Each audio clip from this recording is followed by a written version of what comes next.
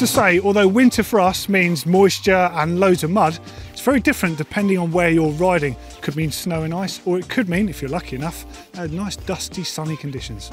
So I guess what we're saying is there's no such thing as a winter tyre. There's just the right tool for the right job. Depends what you're riding. My mud tyre was brilliant in the mud. It clears, it was braking really well, it had great grip in the technical climbs, but actually it was a bit draggy on the fast rolling stuff and the fire roads.